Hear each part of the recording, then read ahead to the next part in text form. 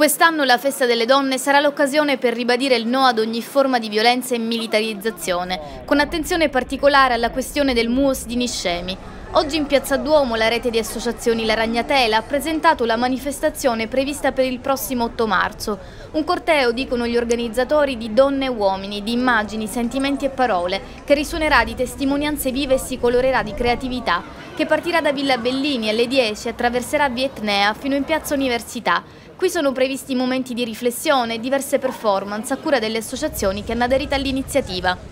Vogliamo denunciare la violenza eh, che subiscono soprattutto le donne migranti, eh, sia nel percorso che le porta dalla loro terra eh, fino diciamo, alla, a questa terra che dovrebbe essere di accoglienza ma che in realtà poi si trasforma in un altro luogo di, di sfruttamento e di violenze è il tema della militarizzazione del nostro territorio. La Sicilia è una, zona, è una terra bellissima che purtroppo eh, diciamo, è stata destinata a, mm, diciamo, alla militarizzazione, a essere punto strategico, diciamo, avamposto militare nel Mediterraneo. E, e, I due temi sono strettamente legati perché diciamo, proprio questa eh, militarizzazione del territorio eh, fa della nostra terra e, e quindi diciamo, la, quasi il confine dell'Europa e quindi un muro eh, nei confronti del, del, quale si scontrano e si infrangono tante speranze e tanti desideri di tanti uomini e di tante donne.